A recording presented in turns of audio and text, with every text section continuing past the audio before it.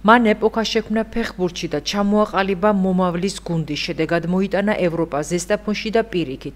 ასე ეხმაურებიან საფეხბურთო კლუბ ზესტაფონის მფლობელის ილია კოკაიას ტრაგიკულად დაღუპვა ზესტაფონში და ამბობენ, რომ მისი გარდაცვალება სრულიად ქართული საფეხბურთო სამყაროს დანაკლისია.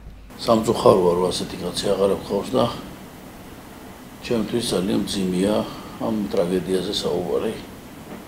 ვინაიდან ჩვენ ქალაქში თუ ვინმე შექმნა სპორტული თვალსაზრისით რაიმე ღირებული, ალბათ ეს არის ილია კოკაია.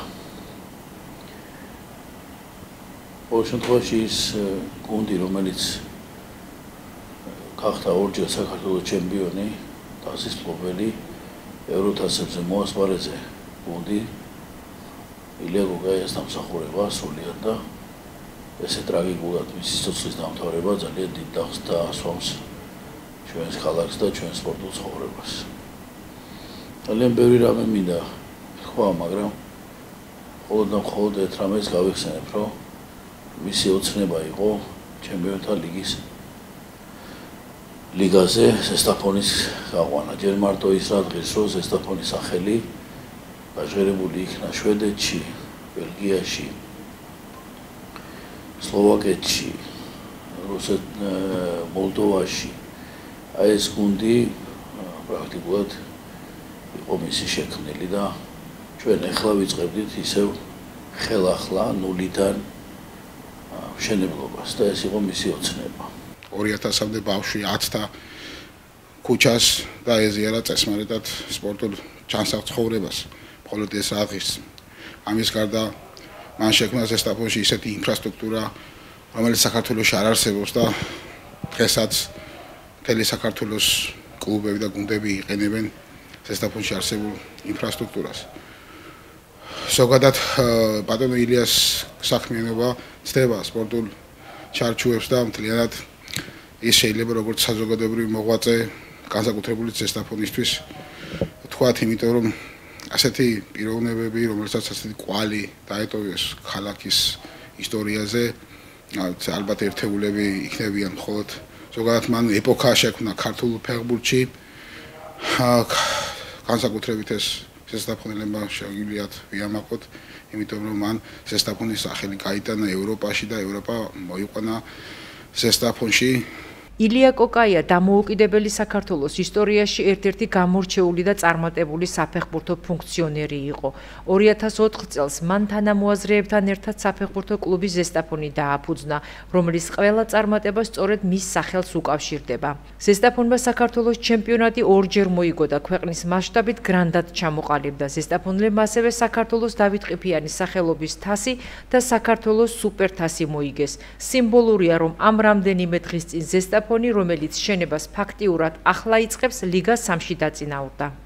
ეს უდიდეს ტრაგედიაა მისი ოჯახისთვის, მისი ახლობლებისთვის და ასევე უდიდეს ტრაგედიაა ქართული ფეხბურთისთვის.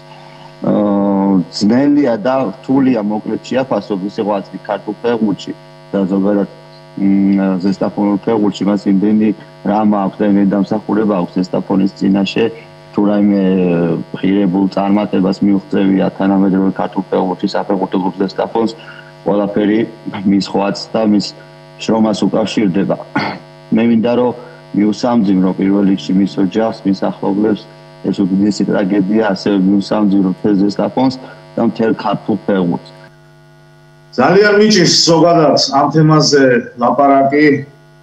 ძალიან რთულია წარსულში ისაუბრო იმ ადამიანზე, რომელმაც ამდენი გააკეთა ჩვენი ქალაქისთვის, ჩვენი ქალაქის ფეხბურთისთვის. ყველამ კარგად იცის, რომ ილია კოგაიას უკავშირდება დაუვიწყარი წარმატებები ზესტაფონის ყველა ის ტიტული, რაც ჩვენ გუნდების განმავლობაში მოუღია. ეს ერთი მხარეა. მეორე მხარეა ის ძალიან დიდი ადამიანობა, ის ძალიან დიდი სიტყვის ყვავილი, რომელიც დატო ამ კაცმა ზოგადად ჩვენს გულებში.